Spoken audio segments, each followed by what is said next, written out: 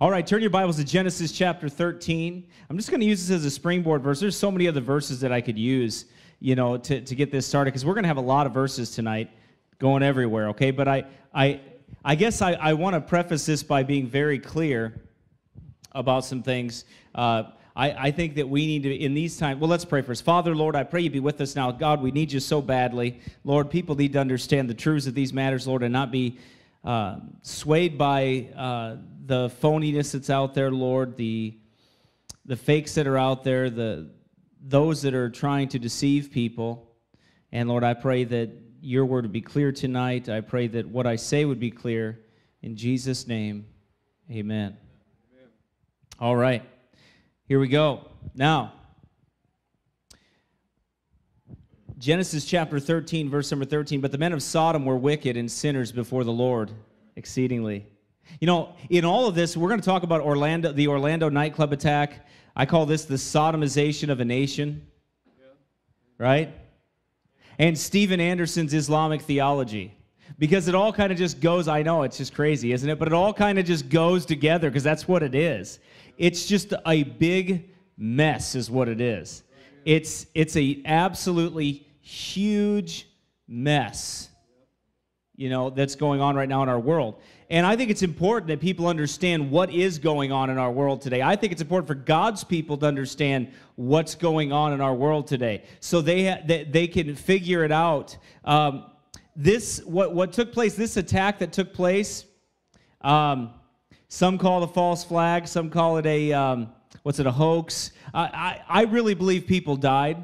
I really believe people died, but I also believe that it, it, was a. I also believe that there's a lot of evidence that leads us to believe that there were some interesting characters involved with this that weren't just random. They were not just random Muslims that were just walking around saying, "Hey, I think I'll go blow up the nightclub tonight." You know, I think I'll just go kill everybody. I mean, for instance, I mean, I think it's important to understand that, like, this man that did this, he didn't he work for one of the highest level security, the the the biggest security companies uh, in the country in the world? In the world? Security firms? Well, those guys don't at all go crazy, do they? Um, so, you know, he, he was working with the government. The FBI was watching him. Don't be surprised if this doesn't get cut off. But, but I mean, the, the FBI, they were, they were watching him. So they knew exactly, you know, what they were dealing with. You know, so and I mean, let's face it, we, we all understand, and if, you, if you've been around technology long enough to know, they can seriously hear a bat poop in the woods like 100 miles away. I mean, they can hear that. They can literally hear, they can, they can literally like hear that. I know it's funny, but it's true. They really can. Like, you don't hide from these people unless they want you to. Anyway, so that's another story. So there are there are a lot of interesting things. I mean, videos that first came out. There's evidence of all this stuff. I, am not getting into conspiracy really that much tonight because I don't think it is a conspiracy. I think it's pretty plain. But um, uh, there were actually testimonies, live video testimonies of people that said, or I mean, after the the event happened, that they would they said, "Hey, listen, there's um, there's uh, somebody was holding the door." Closed so people couldn't get out. And there was more than one testimony of that. More than one. Video talking about that. And that's all the local stations do that. And then all of a sudden, two or three days down the road, it all disappears and you can't find that information out. But that's just spooky people that believe in conspiracies. No, it's actually people that were there that said, hey, this is what happened. So do I believe people died? Absolutely. I think people died. Do I think it was how they say it is? No, it's never how they say it is. Right? It isn't ever how they say it is. And if you ever believe it is, then I got two words for you building seven. That's it. I'm not even going to say the other magical words that people like to say. Every 9 11, I'm not going to say those words. I will just say building seven. And all you have to do is look at that and say, well, that's absolutely impossible. Yes, it is. Yes, it is, but you have to be a really doped up and foolish and stupid nation to believe it. And we are. Okay? We are. So, you know, I, I preface it by saying some of those things, I'm not, that's not the concentration, that's not what I'm focusing on tonight, but it is important to understand that I don't think this is going to be the last attack like that. We already seen something in Amarillo, Texas went down. Um, there's, there's, there's a motive behind all of this. Okay? And there's a, there's a bunch of players in this game. There's a bunch of opportunists in this game that have a lot to gain by this going through the way it is. And I think most people don't really understand how this how this works out, it, how this affects the whole plan of the New World Order, how this really affects it. They don't understand it. They don't want to believe it. Let's not talk about it. Come on, what's church have to do with the New World Order? I mean, a lot. What do you think? What kingdom do you think is coming? Do you think it's what kingdom do you think is coming to take over the whole earth? What is that? Right? Yeah, exactly. What it, what is it? It's the Antichrist, right?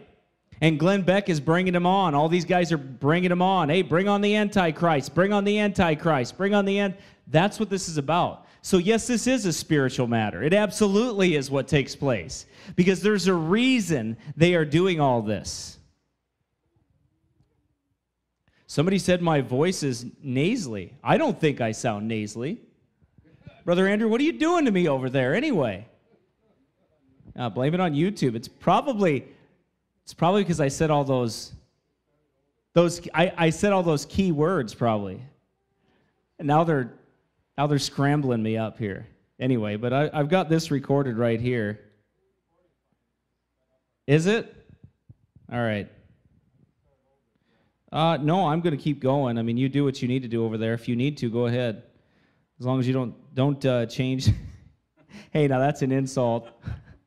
anyway, as long as we don't change what we're doing here, that's all that matters to me at this time. But I'm going to go ahead and uh, I've been through this before. I've had this stuff happen to me before. So I'm going to go ahead and have a backup recorded. I'm going to record it on this too, just because I've had it happen a few times.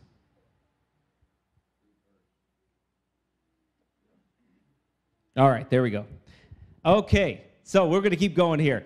Uh, the issue is a biblical issue, all right? And it's important to deal with. Why? Because there are so many people perverting the scriptures and they have absolutely impure motives for all of this. They're misrepresenting the Word of God and the proper biblical position that you and I should have in issues like this. Opportunists abound when a situation like this arises. Like what did uh, Rahm Emanuel say? He said, uh, Never let a good crisis go to waste right? I mean, that's what he said. And look what happens when a when a Chicago when a gangster takes over Chicago.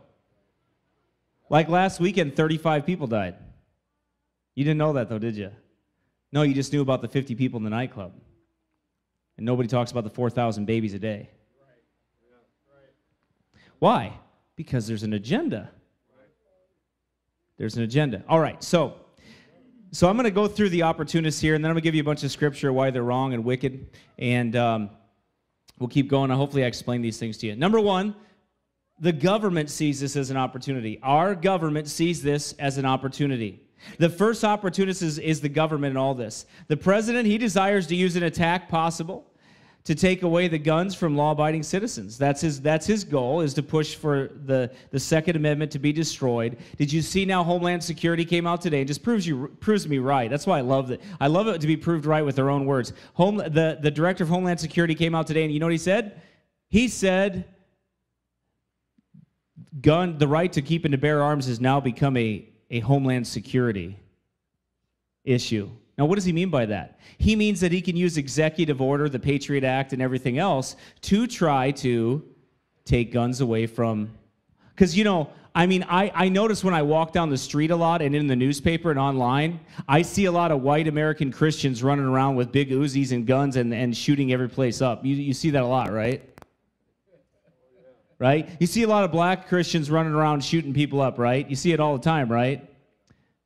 Yeah, it just happens every day. I mean, it's just like it's those Christians and their guns. That's what it is. We got to get that. It's those it's those Republicans. You know, seriously, there hasn't been one yet, which I'm not a Republican, but there hasn't been one yet so far that has really been a part of that. Usually it's been a Democrat, a crazy liberal Democrat that's connected to the military somehow. That's just the truth of the matter. That's just the way. Uh, that's not comfortable to say, but that's just the absolute truth. When's the last time you saw a Christian man take off and start murdering everyone in sight? You haven't. So, and also listen, please don't lump Roman Catholics and the Crusades in with Christians. Roman Catholics are not Christians. I love the Roman Catholic people, want them to be saved. They're lost. I, am not, I'm not angry with Roman Catholic people. All right? I'm angry with the papacy. I'm angry with the, with the Vatican. I'm angry with Rome because they're a bunch of phonies. They're a bunch of devil possessed, wicked people. Okay? Ran by the Antichrist. They are Antichrist at the core, but the Catholic people need to be saved. All right? So I, I, I'm, not, I'm not being unkind to them at all. But I'm telling you that their leaders are wicked and corrupt, just like the leaders of the Southern Baptist Convention are. But Roman Catholics are not Christians, and real Christians had nothing to do with the Pope's crusades. Why is it that the government wishes to get the guns from law-abiding citizens, law-abiding Christians in America? I'll tell you why. Because they're the only ones that would defend the republic against absolute tyranny. Rape and murder and pillage of the, that the federal government would do to its own citizens. But that's treasonous to say something like that. No, it's not. Your founding fathers said it. All of them said it. That was their greatest fear. That's why they made sure there was a Second Amendment to recognize those rights. Because they knew what was, they knew, they know why. Because they just came from a government that took their weapons, kicked their door in. So, uh, what, what do you call that when they when they take the house? Um, I forget what that's called. They kick the door in. They the soldiers come in and and uh, commandeer that. Yeah, quarter of the house. That's right. That's it. Yep. And they take the house. That's what they were used to. So they made it so they so they had a bill of rights that recognized God-given rights that you're not allowed to just kick somebody's door in and do that. Amen. But you are now with the Patriot Act yeah, yeah. and other things. Right? What's the Bible say about that? It's in, in, in Psalms chapter 82. Turn there. Psalms chapter 82, verse number 3. I want, to, I want you to see this here. Because now you got now there's preachers that I can't even believe it. Now they they're out there preaching pass, passivity now. I mean, don't defend your family. They say, "Oh, you can't defend your family. You just let." So, are you telling me you just let people walk in and rape your wife and kill your kids and everything else, and you don't defend them? Boy, I'd feel real comfortable in that house. It's where I want to live. Right? No, not at all. Psalms 82, verse number 3 Defend the poor and the fatherless, do justice to the afflicted and needy. Excuse me, deliver the poor and needy, rid them out of the hand of the wicked. Uh oh. Oh, no, no, no, no, I can't. I'm sorry, I can't do that. Here's the poor and the needy, right? Somebody that's being taken and, and they're being destroyed, molested, or whatever the case may be. But no, I'm sorry, I can't help you. Because Jesus doesn't want me to. He said to turn the other cheek. We're going to talk about self defense soon down the road, but it's just ridiculous. That is absolutely ridiculous. Turn to Exodus chapter 22.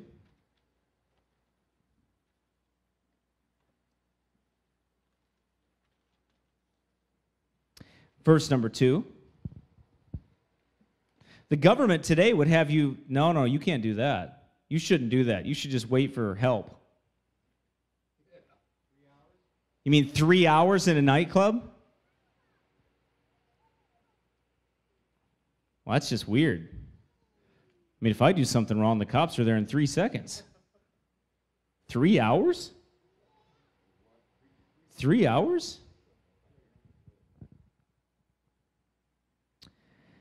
If a thief be found breaking up and be smitten that he die, there shall no blood be shed for him. If the sun be risen upon him, there shall be blood shed for him, if, for he should make full restitution. If he have nothing, then he shall be sold for his theft. What's this talking about? Well, thief comes in, breaks into your house. This is a law of God, by the way. This is a moral law. This is not a ceremonial law. Do you understand that?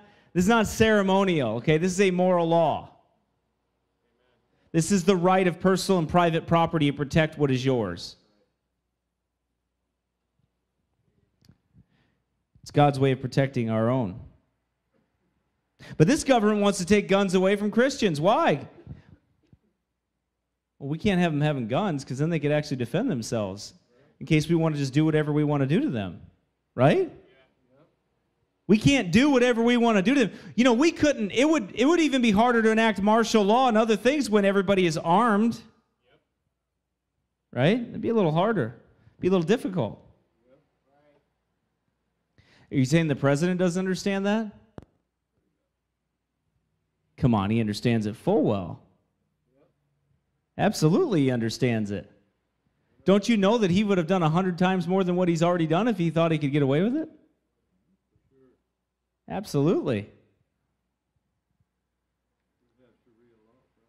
Yeah, he probably would have Sharia law if he had a chance to get it enacted. Of course, those guys at the high level, you have to understand, they're just Luciferians. They all serve Satan. They don't really care about religious creeds or anything like that. They just serve the devil. Satan is their father, and they bow down and lick his hoofs. That's what they do.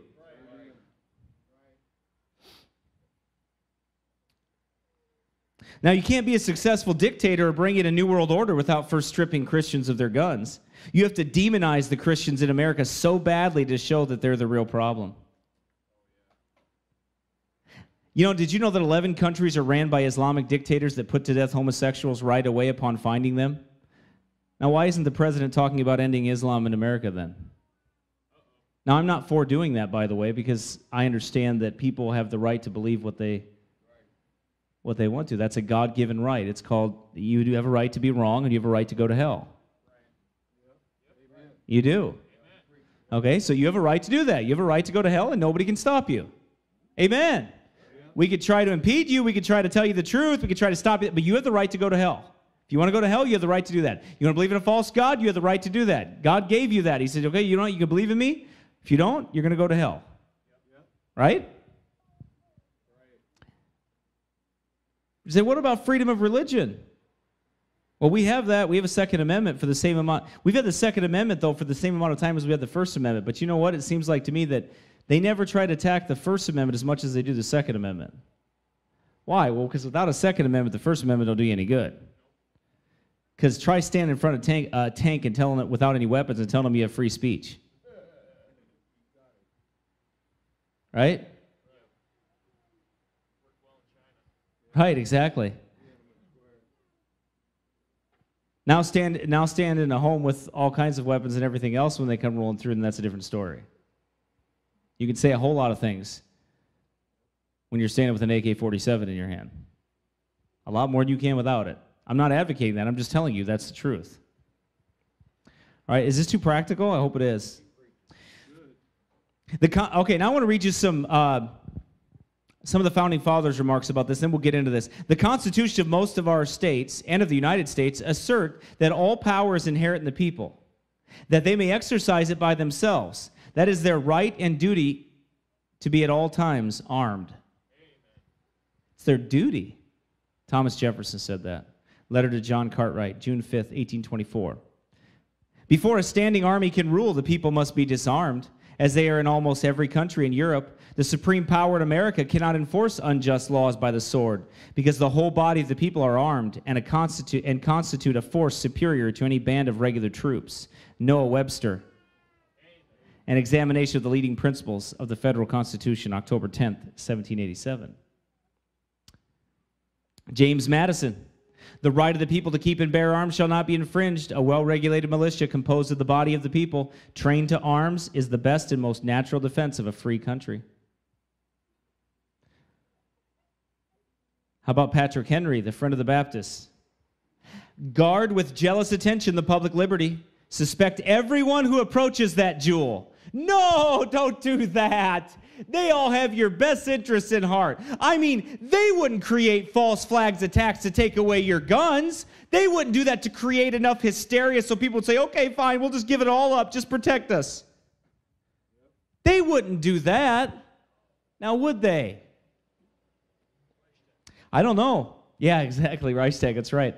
Uh, but you know what? Patrick Henry thought they would. No, Patrick Henry knew they would. He said, Guard with jealous attention the public liberty. Suspect everyone who approaches that jewel. Unfortunately, nothing will preserve it but downright force. Whenever you give up that force, you are ruined. The great object is that every man may be armed. That every man be armed. Everyone who is able might have a gun. Patrick Henry speech, excuse me, speech to Virginia ratifying convention, June 5th, 1778.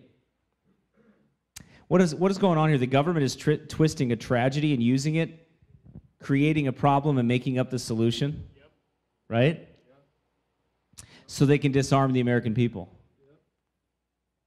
That's what it's all about. That's one of the things. That's not all that. There's more pieces to this, but that's one of them. So God says you should be able to defend yourself and take care of yourself. You should take care of yourself and defend yourself. The government wants to say, no, you need us to do it. You don't do so hot.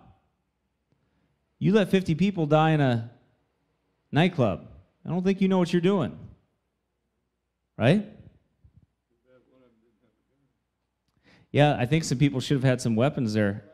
If that was that a no was that a no gun zone? I wonder if that was. Most bars are? Yeah. Well, I guess they know where to attack. Right? Mm-hmm. Most of the time those attacks take places where guns are not allowed. Schools and other places. They don't ever attack places that people are fully armed. When's the last time you saw an Islamic attack on a police station? When's the last time you seen an Islamic attack, a, ISIS attack on a, on a gun show? When's the last time you seen Cabela's attacked? Yeah. Yeah, when's the last time you seen an attack on a redneck? Right, yeah. When did you see that, right? Huh? When do you see that? You don't, right? A fishing and hunting expo? No, right? Doesn't happen, does it? Why? Because they'll kill you, that's why.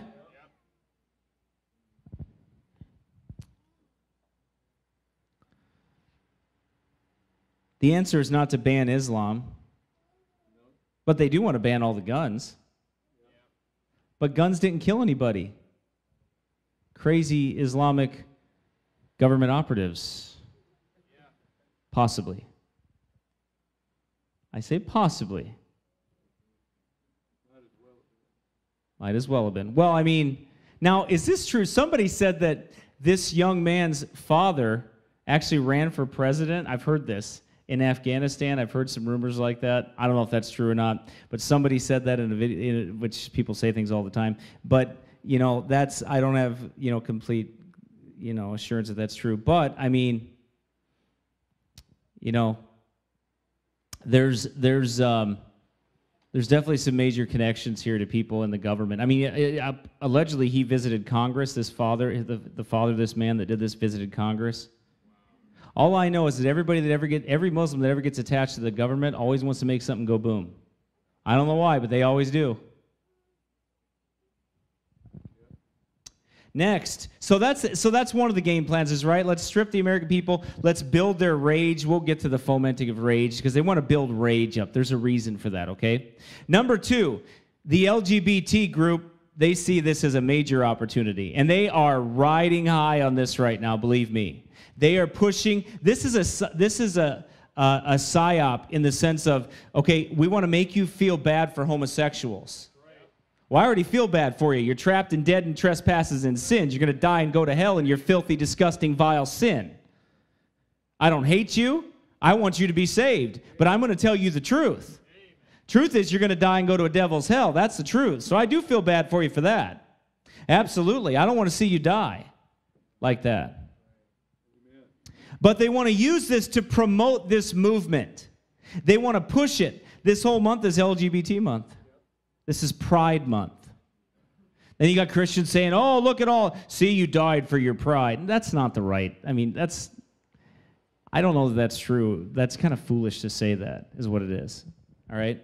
But there's also another then you've got Steven Anderson, which I'm going to get to his words and his little disciples' words.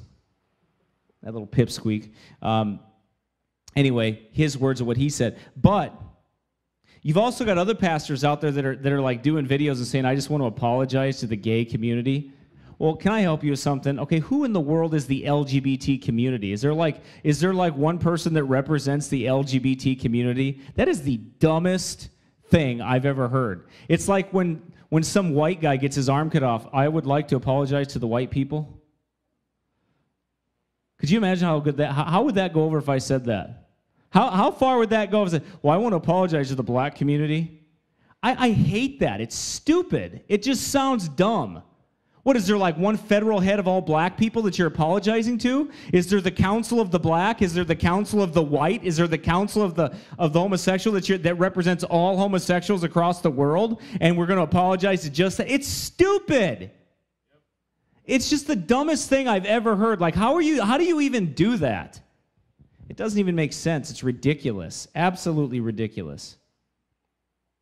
But anyway, so but that's what people are saying. There's there's pastors out there saying things like, "No, I don't I don't have anything to apologize over because I didn't do anything." All right? I didn't do anything, so I'm not going to apologize you for that. I do pray you get saved. I pray you leave your filthy vile sin and get saved by the grace of God. That's not hate. That's the that's the best love I could ever give you. So the president made his proclamation years ago, and now, right in the middle of this Pride Month, we have to push tolerance, and everything is hate speech if you preach against it. That's one of the problems here. Here's another goal that we have here, and the, the, that they have here. And what is that goal? That goal is to shut you up about homosexuality. Because now all the all the uh, like he said, the political pundits, Hannity and, and Beck and all these other guys are are are saying, well, we just all need to come together as Americans, and we just need to put aside all of our differences and just come together. I can't put aside my differences, okay? It's like saying I can put aside my differences with the drunk or the or the or the fornicator or anybody else. No, my, my differences, your differences are with God, and God's going to punish you. And you need to know the truth. And this nation is being destroyed because of this sodomite movement. It's like it's like one of the death nails. It's like the last.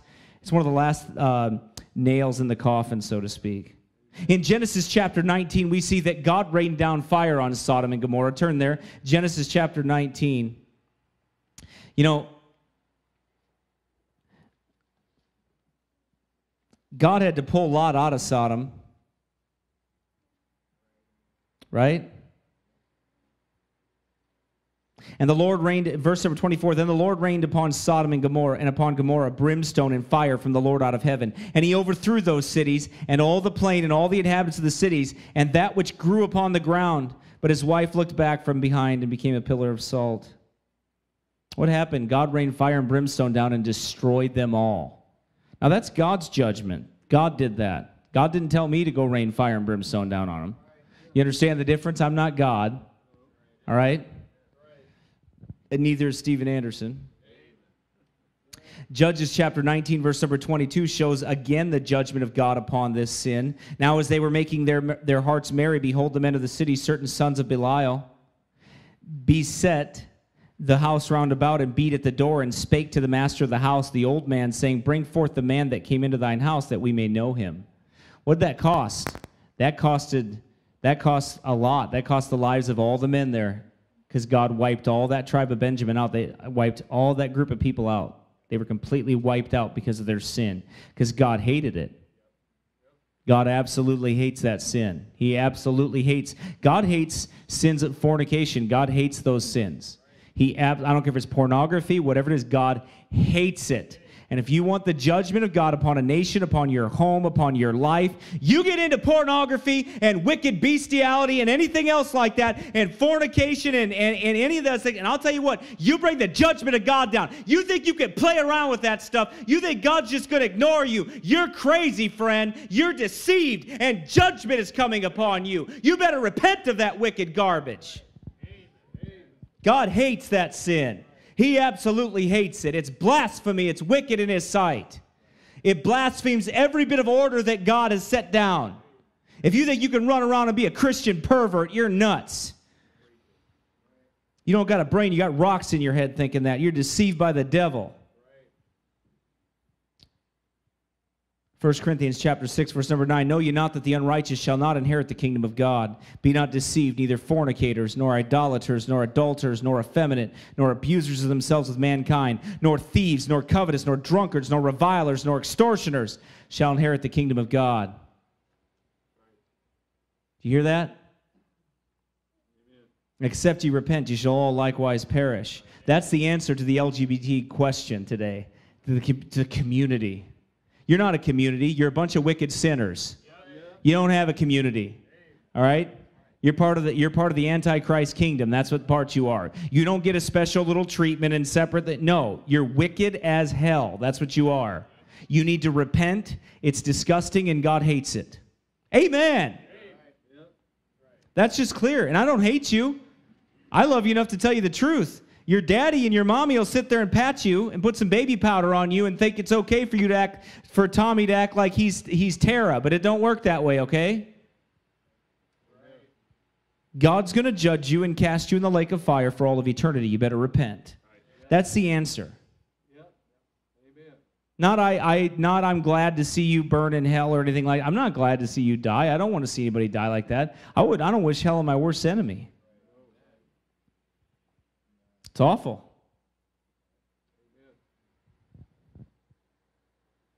And I don't want to be the force to, send somebody there either. You know, by taking their life. So I don't know why anybody would even think in their mind that that would be that would be acceptable to even think that way. It's it's wicked sin to even think that. You have murder in your heart. How you could take joy from something like that is disgusting.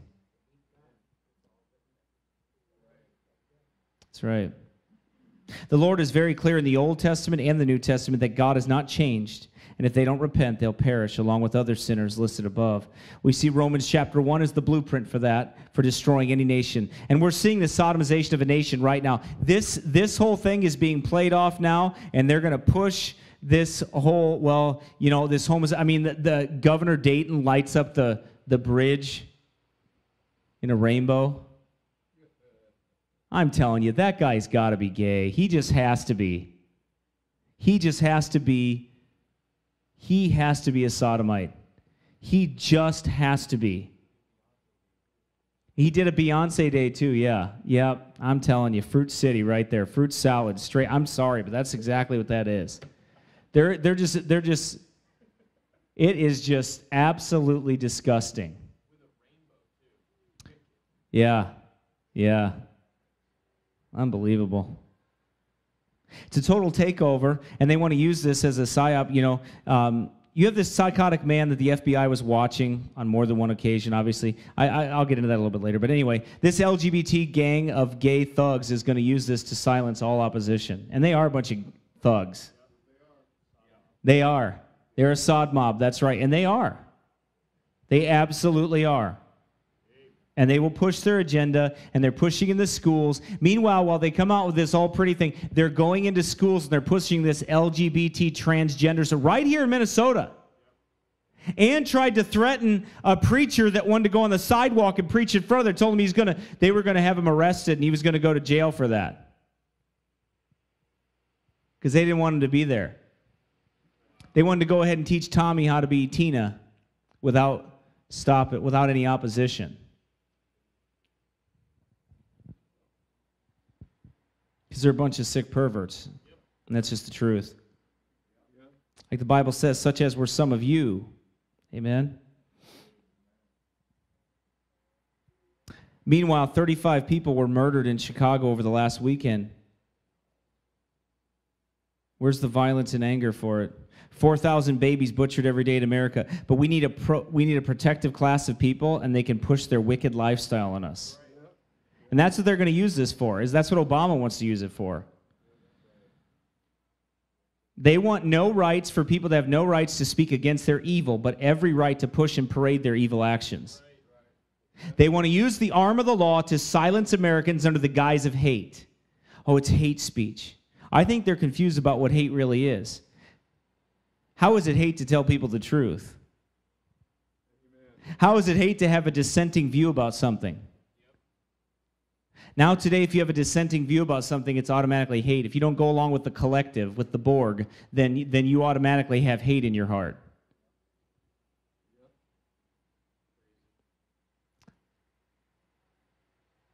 Basically, it's hate to disagree with people because that's how the LGBT community views it. And that's when you can't have an honest discussion about all of this because all I have to say is if you disagree with me and tell me the truth, then you hate me. You don't have any love. That's what people do to shut you down on the street. You, Jesus is about love. He sure was. He said, If you love me, keep my commandments. That's what he said. That's the love he was about.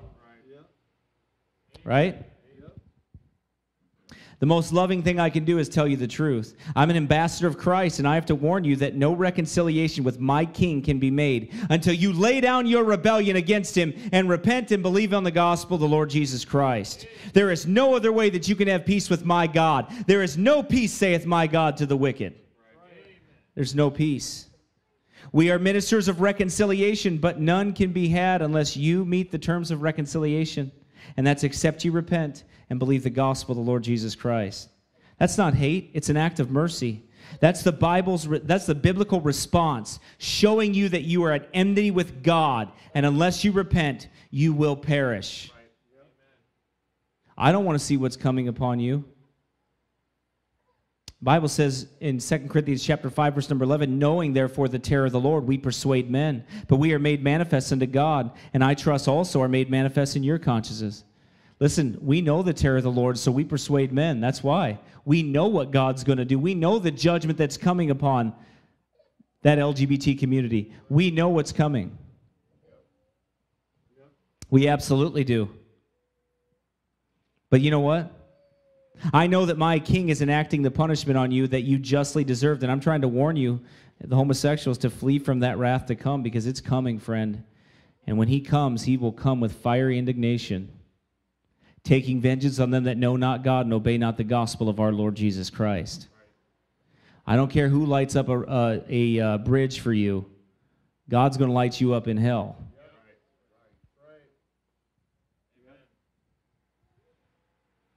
but they will attempt to shut us up. Not let you speak against their sin. Why? That's part of the agenda. It's being used as silence. Well, if you say anything, then you hate, and we're going to watch you haters. We're going to put you on a list to make sure you you're we know what you're saying.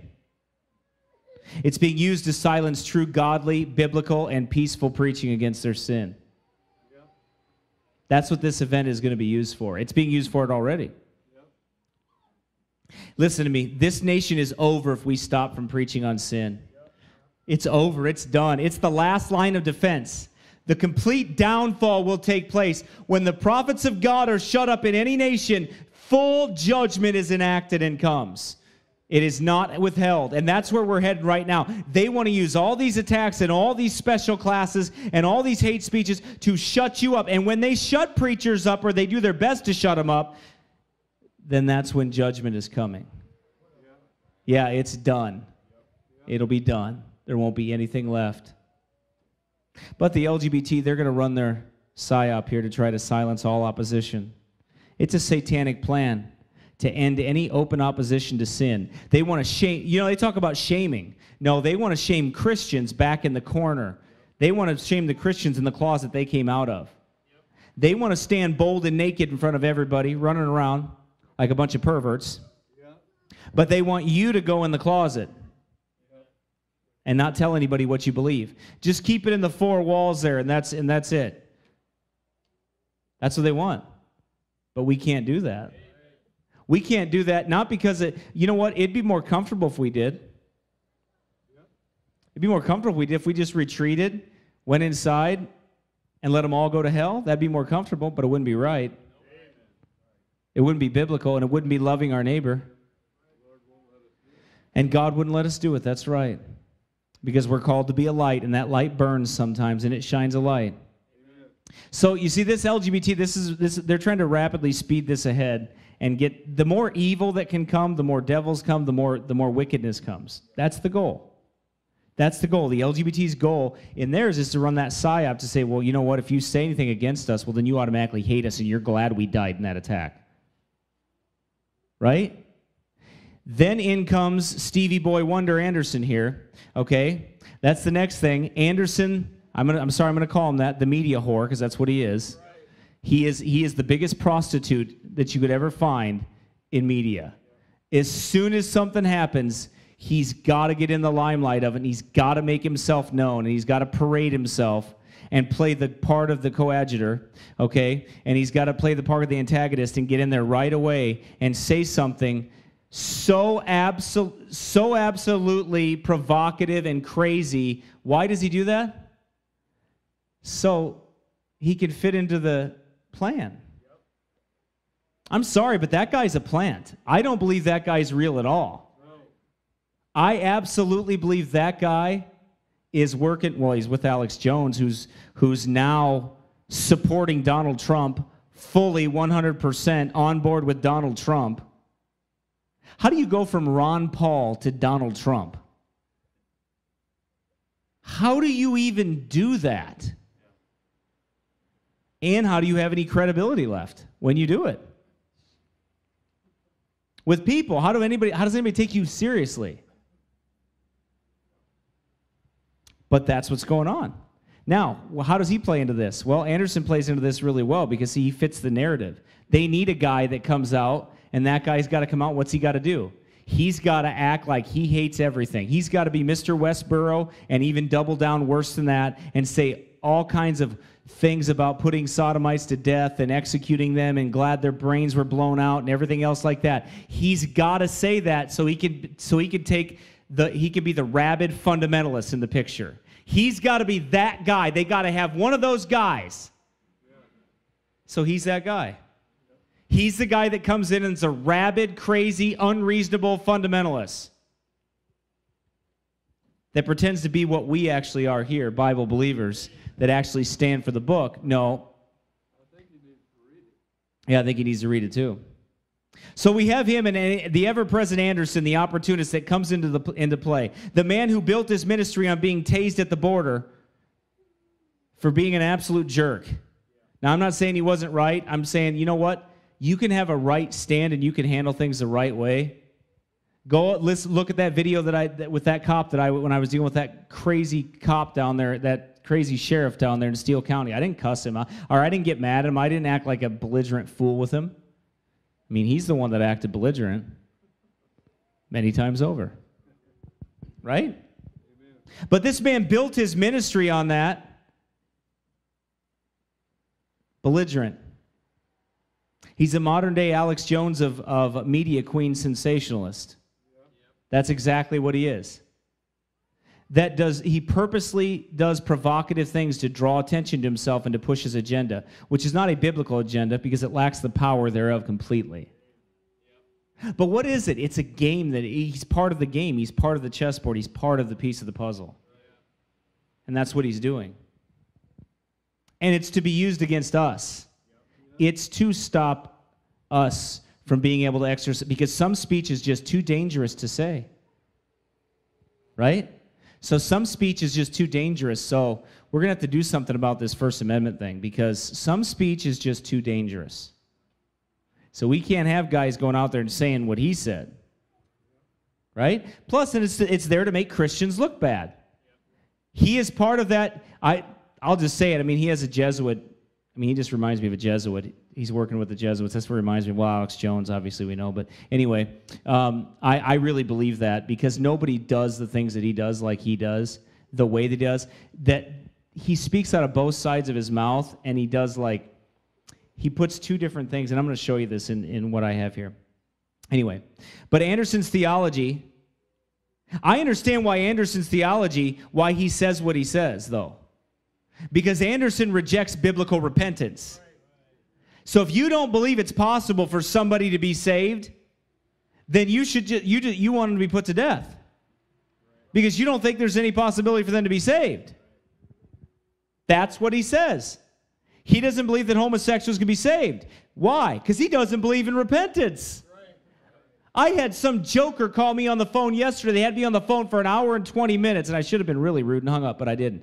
Anyway, but he was on there and he was trying to defend his position of no repentance.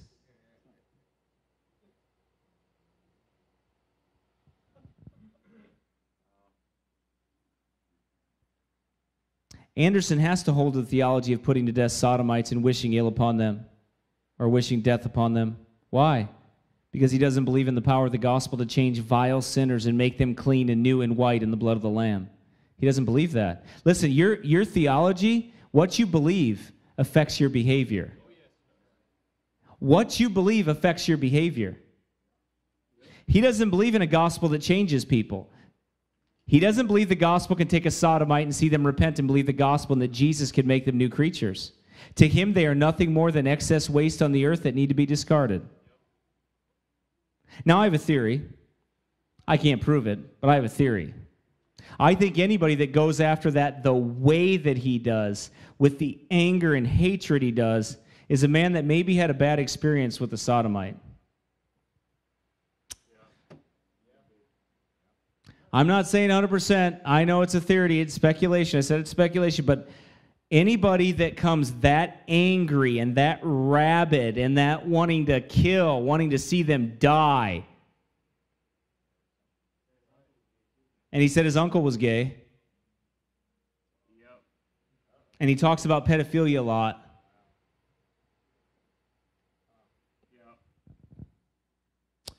But you know what? Repentance and repentance toward God and faith toward our Lord Jesus Christ will take that anger and hate out of you. But when you don't believe in repentance, you can be healed of that, you know. But again, that's speculation. I'm not saying it 100%. I'm just saying that there's something that doesn't seem right with all that. Some, there's a lot of hate there. To him, uh, it's that, that that's the type of hatred and spirit that he fosters, though. That type of hate. I've never seen a man hate something that bad unless they were victimized by something. Right?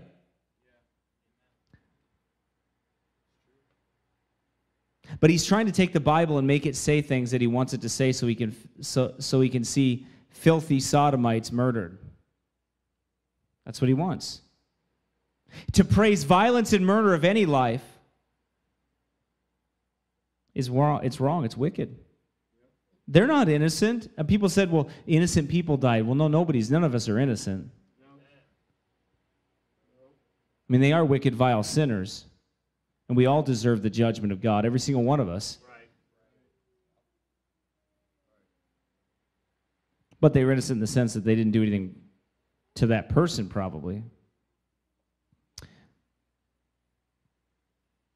But Anderson comes from a, from a fundy background. He lived relatively clean in his life and was sheltered from a lot of sin and wickedness, and he's appalled that God would save, God could save somebody in the vilest of sins. I think he's appalled by that. He can't imagine that there are some that could be saved. To him, they are all reprobate and worthless and rid, and rid the world of them. Yeah, we know they're wicked and vile. God said they were. But his response and the response of his disciple pastor is not the biblical response. I'm going to read you what he said. It's a fleshly, hateful response, one that does not believe in the power to save lost sinners. So he must take the law into his own hands, or somebody else must, and force with the long arm of the law the change. He's doing the same thing the Sods are doing. He's trying to shut down all opposition like a theocracy but it doesn't work and it will not work. America is not Israel under a king. And there's a man that does not know how to rightly divide the word of truth at all, absolutely. The difference in the old covenant, the new covenant, he doesn't understand. All right, so his disciples said this recordings of the sermons by Pastor Roger. Uh, how do you say his name? Jimenez? Okay, Jimenez, is that it? Did I say it right? You think so? All right. I don't really care how you say his name. Roger. Uh, surfaced under the Verity Baptist Church's YouTube account. He said this Are you sad that 50 pedophiles were killed today? He said in the sermon, Um, no. I think that's great. I think that helps society. I think Orlando, Florida is a little safer tonight. We don't need to do anything to help. As far as I'm concerned, Orlando is a little bit safer tonight, he said. Somebody responded, said, He's not a man of God. He's not teaching religion. He said, Jimenez's sermon went on to call for even more death at the hands of the government. I said more, more death at the hands of the government. I thought that was interesting, but anyway, um, just the way that was said. If we lived in a righteous government, he said, this is what he says. If we lived in a righteous government, they should round them all up and put them up against a firing wall and blow their brains out. Jimenez said in his sermon. Now, see this how this fits the model? For what the LGBT community says Christians believe. This is how Christians really think. This is how they are. And we're so oppressed. We got to put our ponytails back on and skip, skip back into the closet and be scared. It's not true. That's not what most Christians believe at all. Not even, not even Christians that preach hard against sin. I've never said anything like that before. Luke chapter 9, verse number 52. Turn there, please. Luke chapter 9, verse number 52.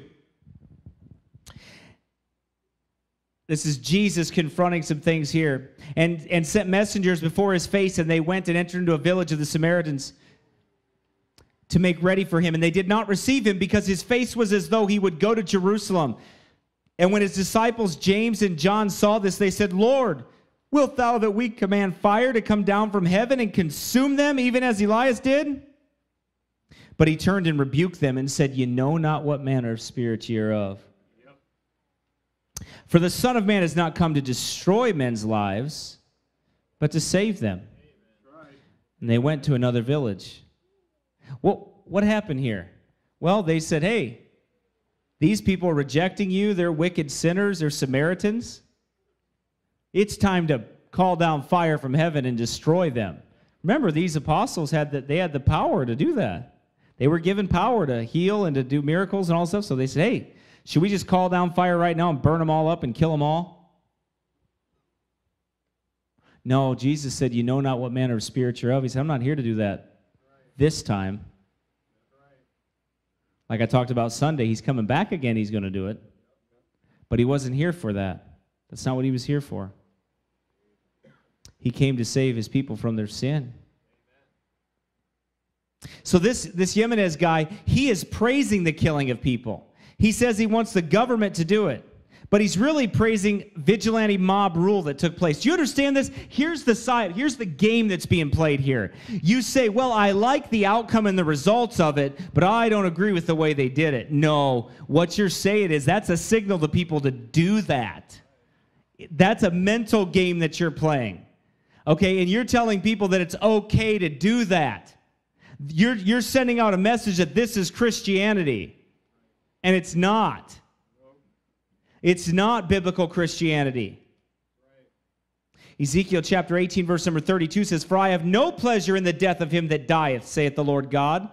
Wherefore turn yourselves and live ye. How about Ezekiel 33, 11? Say unto them, As I live, saith the Lord God, I have no pleasure in the death of the wicked well, if God doesn't have pleasure in the death of the wicked, then I suppose I shouldn't have pleasure in the death of the wicked either. Yep. Amen. Because I'm supposed to be like Christ. Right. But he says, But that the wicked turn from his way and live. Turn ye, turn ye your, from your evil ways. For why will ye die, O house of Israel? Right. He's telling him to repent. That's what that word means turn. Turn ye. So, what does God say to the most vile, wicked people in the world? What is the message that we take to the sodomite community, to the murderers, the drunks, the whoremongers, all of them caught in fornication, wickedness, and sin? What is the message? Repent ye therefore and be converted, that your sins may be blotted out. You need to repent and believe the gospel of the Lord Jesus Christ. That's the message. That's the message because God has no pleasure in the death of the wicked. But God would have them repent. Remember Abraham's biblical response? Abraham knew what Sodom was.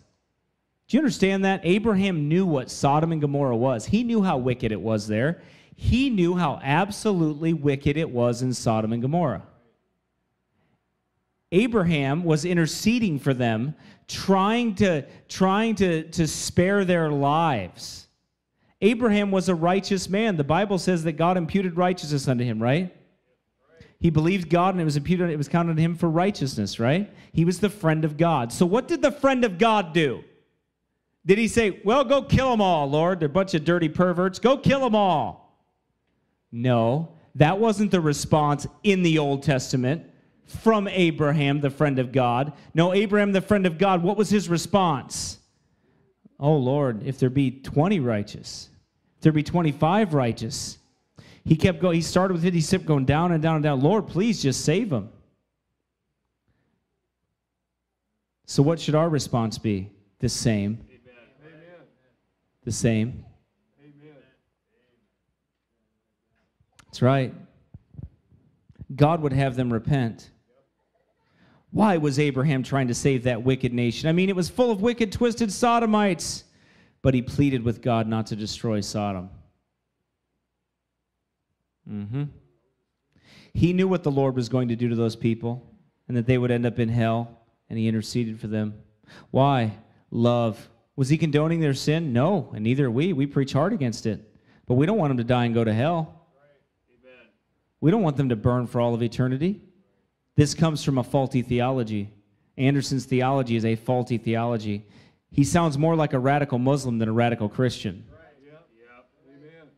A radical Christian will preach the gospel and believes in the power of the gospel to save lost sinners. I'm going to tell you what, that kid ain't never been saved, and that's what his problem is. Because when you're saved out of a life of sin and wickedness, you understand the power of God to save lost sinners. You get it. You understand that God can change the vilest of sinners because he changed you. But when you don't believe that, when you don't believe in the power of God to change sin, you don't believe in repentance toward God, you don't believe a man can repent, then guess what? It, you, there's no hope for that man. And you're right. Because repentance and faith are gifts of God. And if you don't believe in repentance, well, you're right, there is no hope for that guy. Amen. With your theology, there's none. Islam has no power to change lives, only to chop your head off if you disagree. And neither does Anderson. He believes the same thing. If you don't conform, you die.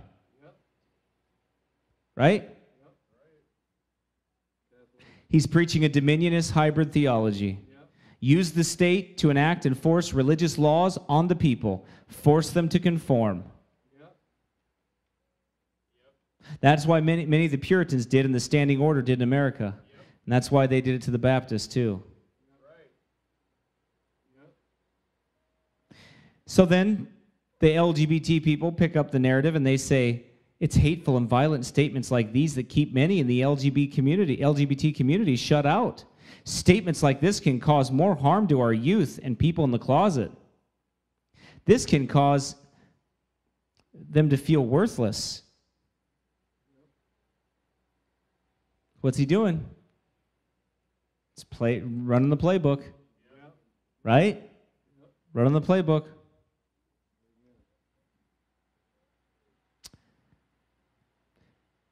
He says here that the, this uh, homosexual man says, with the LGBT community less than a year removed from a Supreme Court ruling opening the door for marriage equality, Nelson says they've become complacent. But Jimenez's remarks are a reminder the fight for equality isn't over. They don't want equality, they want preference. Look what, look what the sodomite guy says to about Jimenez. The bottom line is to love thy neighbor as you love thyself. See how he used it? See how he twists it? See how it plays into the narrative? Do you see how it works? Real love is telling the truth, but Anderson's theology gives fuel to the sodomites to come after us and say, well, some speech is simply too harsh to bear, so we got to get rid of it and not allow you to speak against sin any longer because, after all, kids will commit suicide. Johnny thinks he's a Jenny, and he can't bear to hear it. That's the game plan. That's the game plan right there. It's to end free speech. Anderson and his crew are the provocateurs that do it, the catalysts that will push it. Reuben Israel. Reuben Israel over in, in uh, the pickled pig's head on a pole. Right? Yeah. it's nasty. anyway, going out to that event, what was he doing? Provocateur. What that is. What else do you call it? They got to push the First Amendment. They got to push the limits of the First Amendment. So finally, the outrage becomes greater than the outcry. Okay, Pastor Steven Anderson, whose hate knows no bounds, says this article celebrated the deaths of 50 people at a gay nightclub in Orlando in a four minute mini sermon that cited the Bible as justification for why they needed to die. Did you see? Cited the Bible. Did you see how he said that? And if it didn't happen via a shooter, it should have happened by way of government execution. So it's the most disturbing, hateful response to a mass shooting you'll ever hear. And it was provoked by Anderson's complete hatred of the LGBT people. This is not a Christian response, by the way, it's an Islamic one. I want you to understand that this is an Islamic response. It may be a Catholic in the Dark Ages response, but it's not a Christian response. Okay? See, a lot of these jokers don't know their history, but I know the history and I understand how this, I, I understand who these people are and what they stand for. For instance, are we going to force people with the state to not be atheists and when they're when we put then we put them to death after all it says thou shalt have no other gods before me. So do we start putting people to death for what they believe? Yep. Think about it. No, Baptists never did that. That's right. And Jesus said, let them alone, right? The wheat and the tares? Yeah. Amen.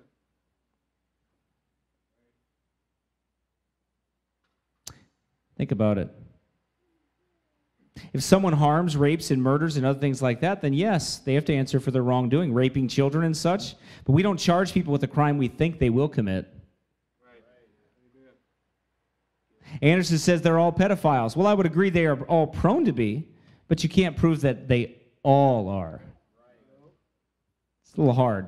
I made that statement before because I believe most of them are, or can be, or you know, have a good opportunity to be. Yep. But to enjoy the death of the wicked and rejoice that they're murdered is a wicked theology, not found in the New Testament or the New Covenant. Here's what he says The good news is that there's 50 less pedophiles in this world because you know these homosexuals are a bunch of disgusting perverts and pedophiles. That's who was a victim here. Are a bunch are a bunch of just disgusting homosexuals at a gay bar, okay? But the bad news is that this is now going to be used, and I'm sure to push for gun control, where you know law abiding normal Americans are not going to be allowed to have guns for self defense. And then I'm sure it's also going to be used to push an agenda against so called hate speech. So, Bible believing Christian preachers who preach what the Bible actually says about homosexuality that it's vile, that it's disgusting, that they're reprobates, you know, we're going to be blamed like it's all extremism. It's not just the Muslims, it's the Christians. I'm sure that that's coming. I'm sure that people are going to start attacking, you know, Bible believing Christians now because of what this guy did. No, I think they're going to attack him from what you just said. But I think you knew that already. He says, "Now let me be let me just be real clear. I've never advocated for violence. I don't believe in, you know, taking the law into our own hands. I would never go in and shoot up a gay bar, so called. I don't believe it's right for us just to be vigilante. But I will say this. The Bible says that homosexuals should be put to death in Leviticus 20:13. Obviously, it's not right for somebody to just, you know, shoot up the place because that's not gonna, go, going through the proper channels. But these people all should have been killed anyway. But they should have been killed through the proper channels, as in they should have been executed by a righteous government that would have tried them, convicted them, and saw them executed. Because in Leviticus 20:13, God's perfect law, he put the death penalty on murder, and he also put the death penalty on homosexuality. That's what the Bible says, plain and simple. So you know the good news is that at least 50 of these pedophiles are not going to be harming children anymore. The bad news is that a lot of the homos in the bar are still alive. So they're going to continue to molest children and recruit people into their filthy homosexual lifestyle. I'm not sad about it. I'm not going to cry about it because these 50 people in a gay bar that got shot up, they were going to die of AIDS and syphilis and whatever else. They were going to all die early anyway because homosexuals have a 20 years shorter lifespan than normal people anyway. As you can see, wow. Okay, so that's the end quote. That's, that's what he said. Now, let me ask you a question. Does that sound like a Christian response to you? Does that sound like a biblical response? I'm all for preaching hard against sin, and I know it's wicked. And you just heard me say, uh, and I've got a whole series on sodomites and sodomites in the land, and I've preached hard against it, but I've never once rejoiced in the death of somebody or tried to rejoice in the death of somebody. That's nothing but agent provocateur type behavior, is all that is. That's exactly what it is. It's done for a reason. It's done for because he fits the narrative, he fits the story, he fits the he fits the antagonist, he fits the playbook. That's what it's about. I'm telling you. It's plain as day, that's what it is. He asked me one time, because I was on I he asked me one time on, on Facebook if I thought that he was a, a CIA agent. He did ask me. And I'm pretty sure I told him, yeah, I think you're a stinking plant. I think you work with Alex Jones. I think you work with a lot of guys. I think you're a plant. What's that? No, he never responded to me again. Blocked me too.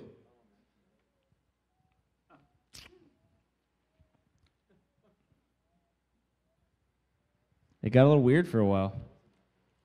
Mm-mm. Mixed message from a messed up theology right there. Right? As you can see, he says he's not for the way it was done, but he praises the outcome. Right? He was praising the outcome.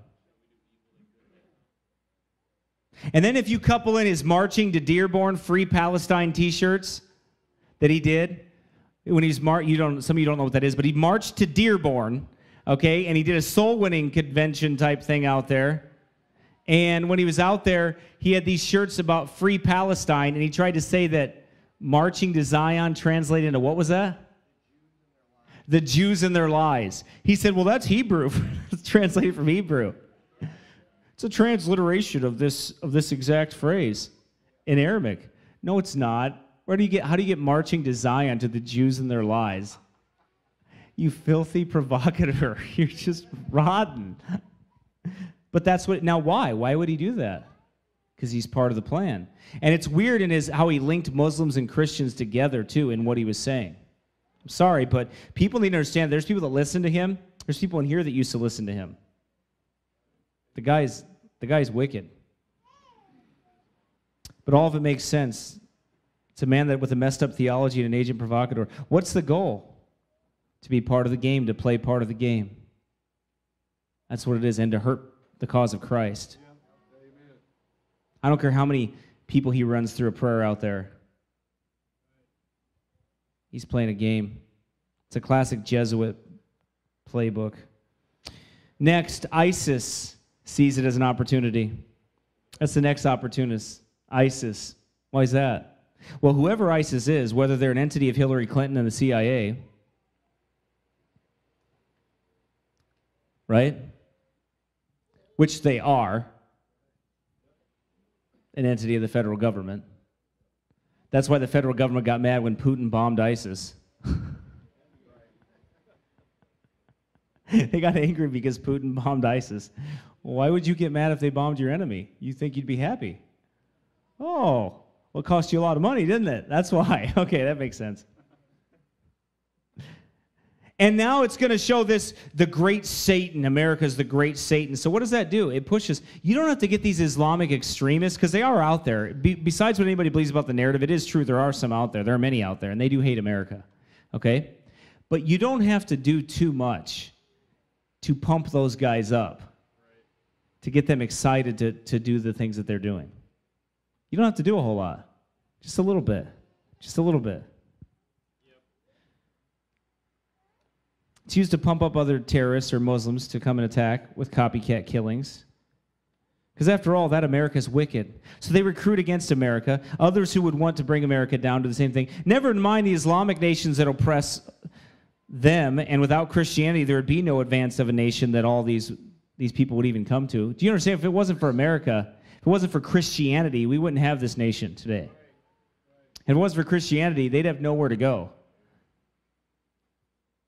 But they're lost, wicked heathens, devil possessed.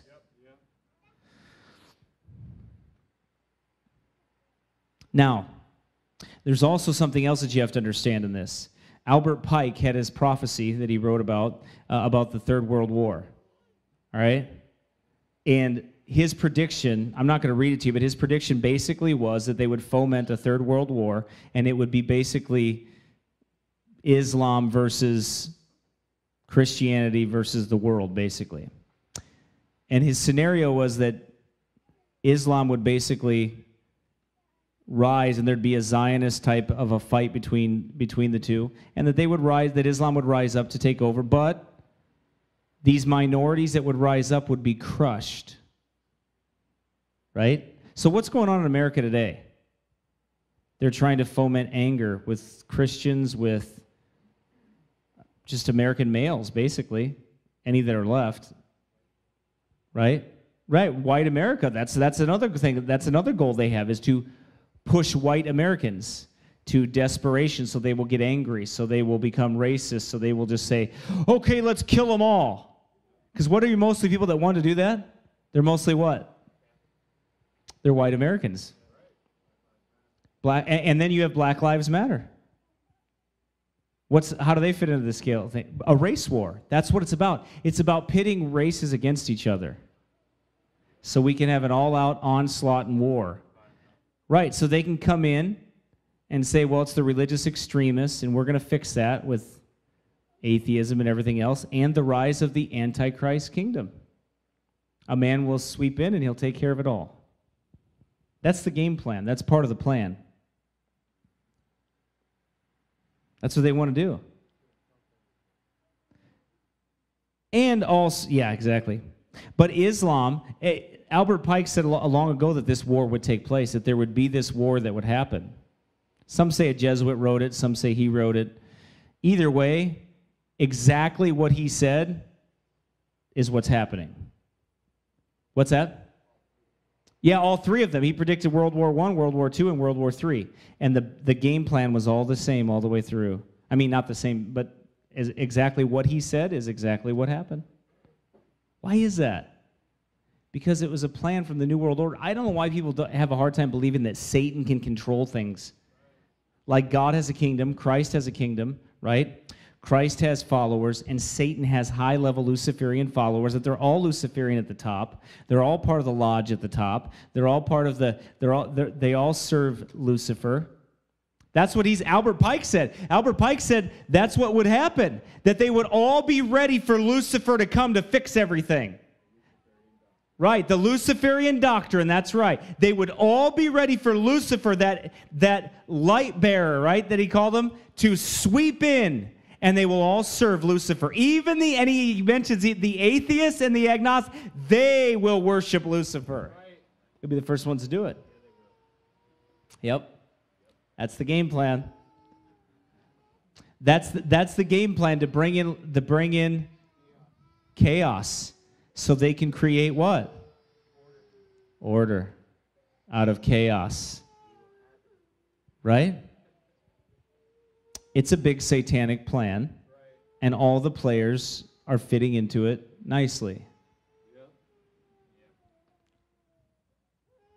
Hey, can I ask you a question? Name one nation Islam has ever made better. Anybody? Can anybody name one? They've ruined everything. They destroy everything. Why? Because it's Satan's theology, that's why. And the Vatican's. Roman Catholicism made America worse. So understand, and then you can go back and listen to the sermon, Rome is the Mom of Islam. Go listen to that if you haven't heard that one. Have you heard that one, Brother Jacob? Did you like that title? Uh, huh, yeah, that was a good one. Did you, did you listen to that one yet? Rome is the mom of Islam. You did? That's great. Brother Finney, have you listened to that one? All right, I was just checking to see if you have. You're looking at me kind of funny, so I wasn't for sure if you had. Okay, I'm just kidding. Are you saying you always look funny like that, or what?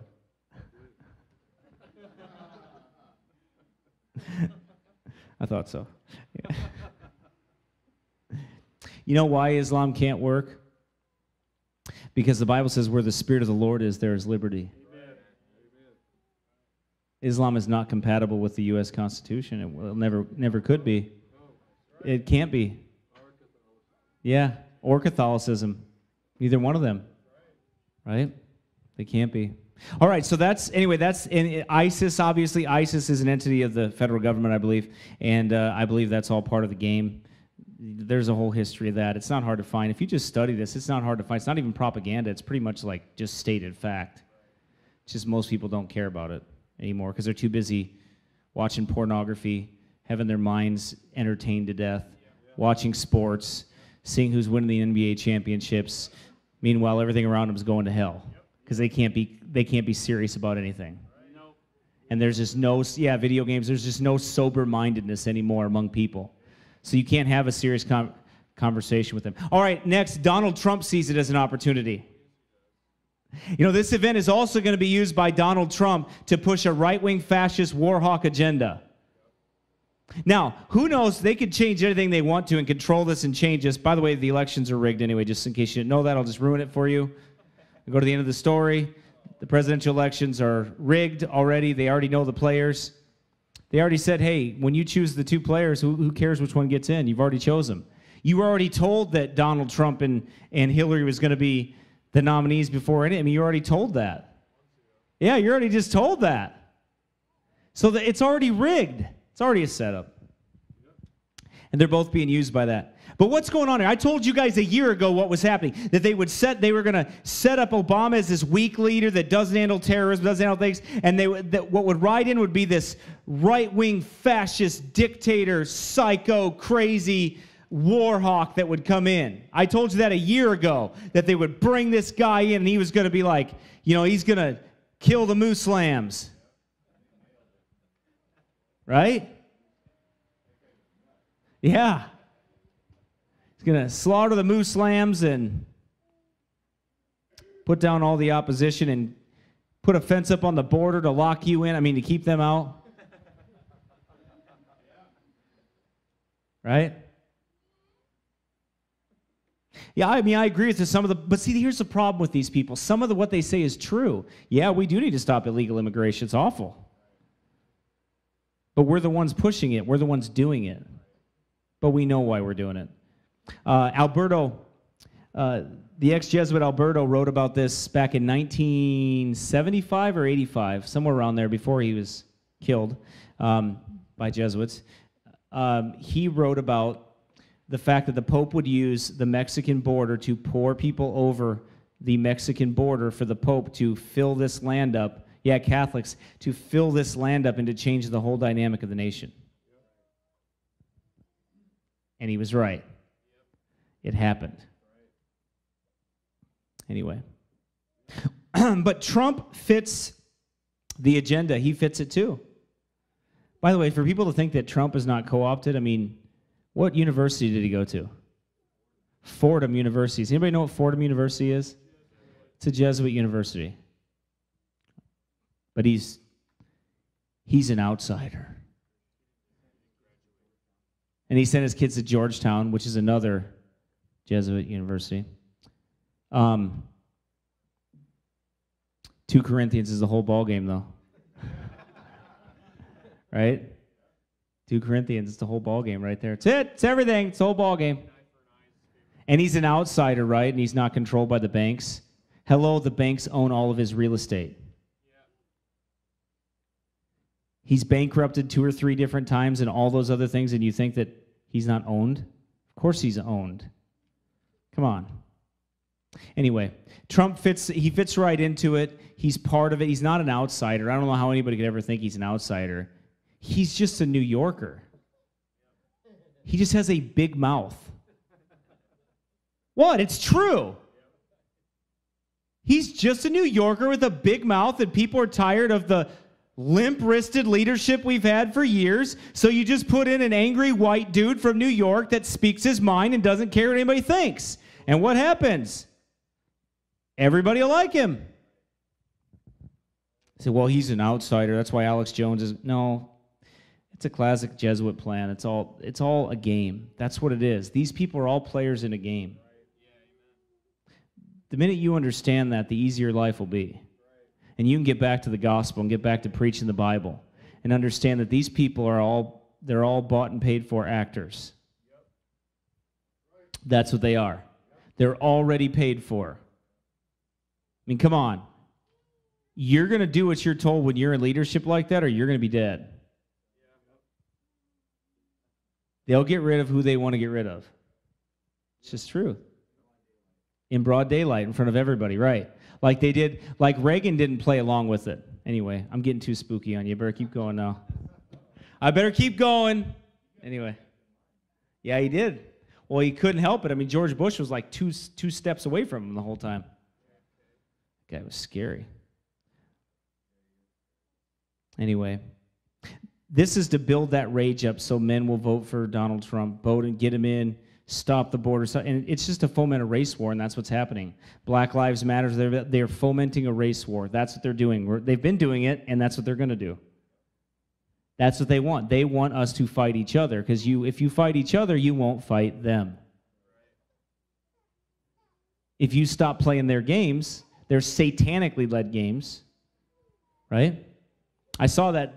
I, I, I saw that. That was sent. That somebody hacked into Black Lives Matters, I guess, and and um, yeah, the leaders account and found out that they're just fomenting a race war. They're gonna they're gonna foment all this stuff around Donald Trump's play. That's why they're setting all this stuff up. You think this isn't? I mean, come on, it's not an accident. Yeah, it's a grassroots movement. Sure, it is. Isn't it ran by two lesbian women? I heard it was. I thought that Black Lives. What's that? You know one of them. How do you know him? Oh, I thought you said you knew him. I'm like, wait a minute, we got to have a different conversation here. Nate, Andrew, grab him.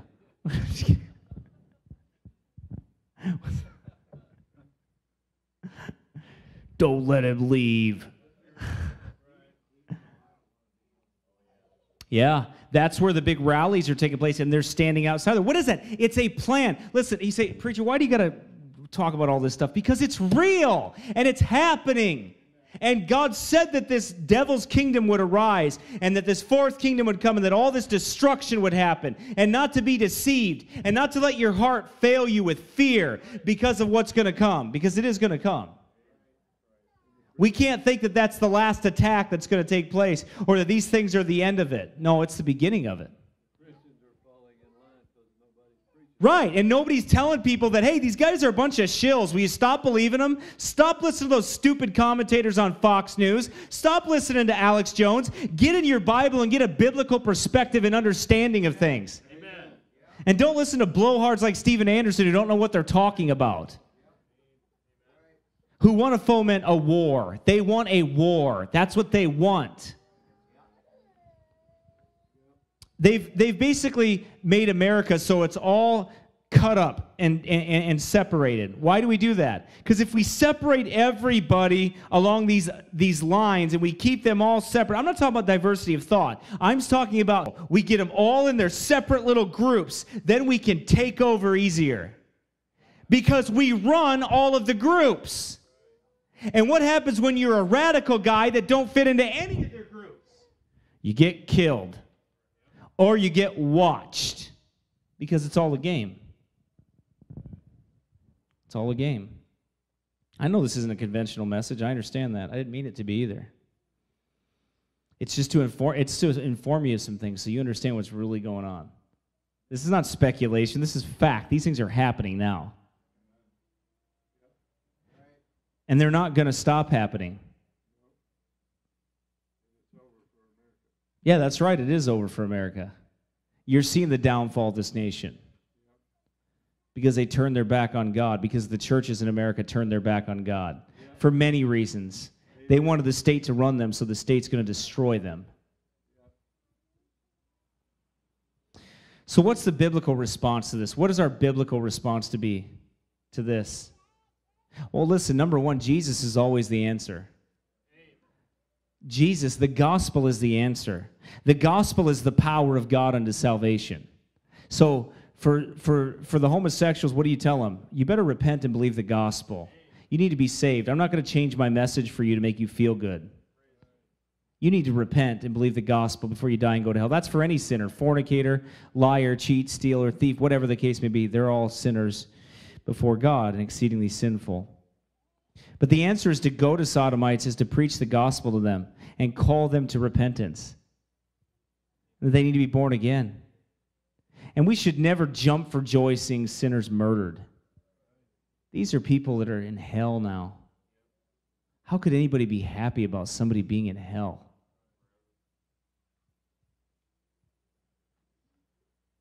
It shouldn't excite us to see people thrown in hell. We should never forget their, their plight. We should never lose sight of their plight. Never lose sight of the fact that these people are lost and dying in their sins, deceived by Satan. Yes, they're vile and disgusting, and such as were some of you. Amen. Amen. God says he has no pleasure in the death of the wicked, but that they would repent. But Anderson, he doesn't believe in repentance, so he has to handle it in the flesh. Kill them all is his answer because they can't be saved in his mind. But we must believe in the power of the gospel to save lost sinners, and we've got to pray. Folks, we've got to pray. We've got to give ourselves over to prayer in our homes, in our church, and everywhere we go. We need to be praying.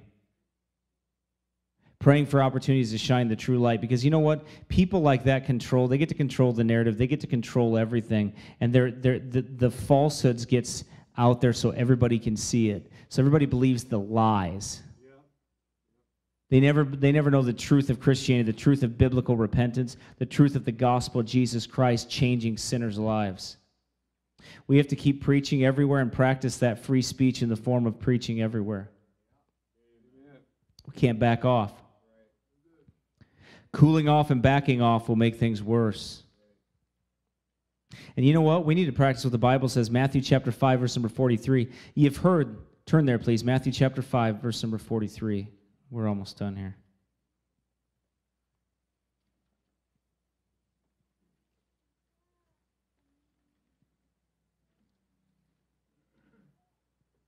Ye have heard that it hath been said, Thou shalt love thy neighbor and hate thine enemy.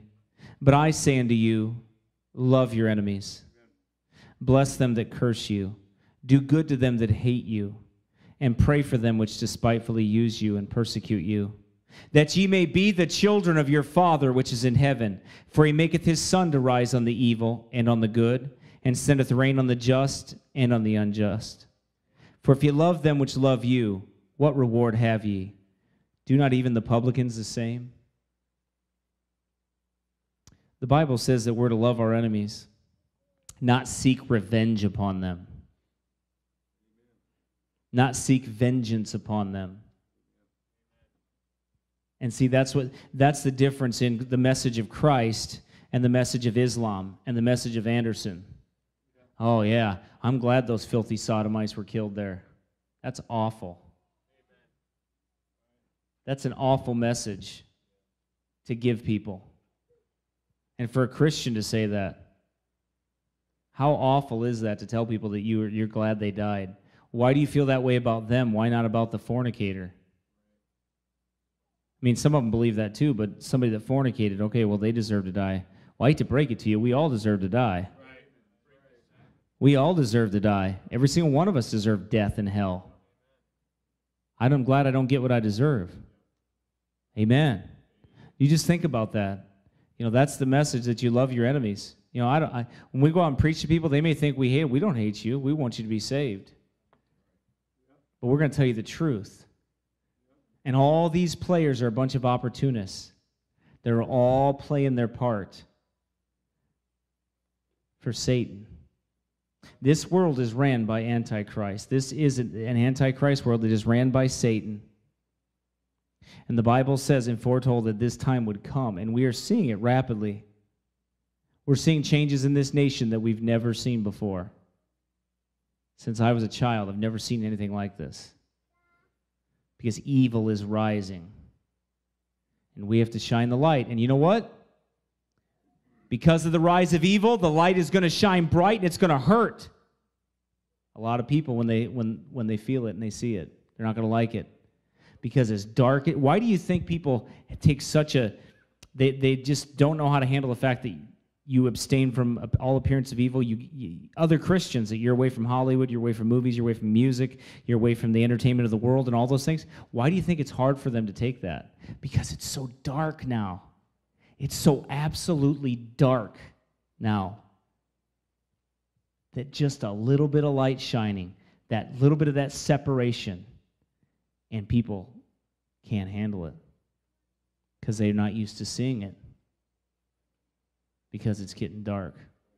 So we need to pray. We need to do what we can do. We need to pray. We need to preach. We need to tell the truth and let the truth be known out there. Don't let people like Anderson, people like that, take over the discussion. You know, you have to be out there about your father's business and bringing in the truth. Because all these people are setting up for Satan's kingdom. That's what the plan is. And you know what? Take heart, though, because Christ foretold that it would come. And we know, and we've read the end, we win. Amen? So they may take the body, but they can't take the soul. Amen. Father, Lord, thank you. Thank you for your words. And Lord, uh, thank you just for understanding and clarity of different things that go on in this life, Lord, what our perspective, our, our understanding, and our actions should be towards them, Lord. And we shouldn't hate anybody to the point of wanting to see them die and wanting to see them burn in hell or rejoice in somebody getting their brains blown out, Lord. That's awful. And Lord, I just pray that nobody would accept that as being right, that we would stand against those things and tell those people that, you know what, we hate your sin and God hates your sin, and you're going to die and go to hell for your sin, and you have to repent. But we don't want to see you die. We don't want to see you go to hell. That's why we're warning you to flee from the wrath to come. Dear God, help us to be a light to those out there in darkness. In Jesus' name we pray. Amen.